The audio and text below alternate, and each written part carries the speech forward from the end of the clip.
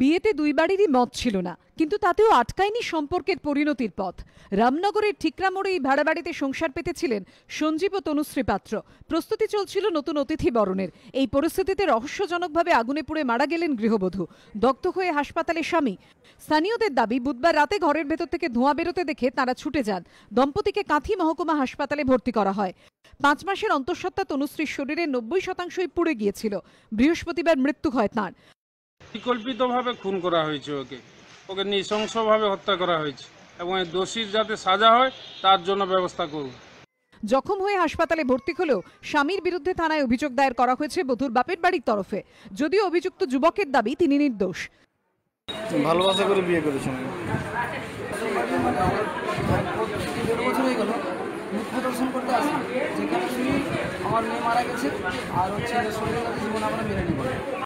স্বামীর দাবি জ্বলন্ত অবস্থায় স্ত্রীকে দেখতে পেয়ে তাকে বাঁচানোর চেষ্টা করেছিলেন। যদিও তা মানতে নারাজ বধুর বাপের বাড়ির লোকজন। তাদের প্রশ্ন, কীভাবে লাগল আগুন? ঘটনার নেপথ্যে কি কারও হাত রয়েছে, নাকি স্রেফ দুর্ঘটনা? খতিয়ে দেখছে পুলিশ। কারণ তনুশ্রী স্টোভে রান্না করতেন এবং যেখান থেকে তাকে উদ্ধার করা হয়েছিল, সেটি রান্নার জায়গার খুব কাছে। ঋত্বিক প্রধানের রিপোর্ট, এবিপি আনন্দ, পূর্ব মেদিনীপুর।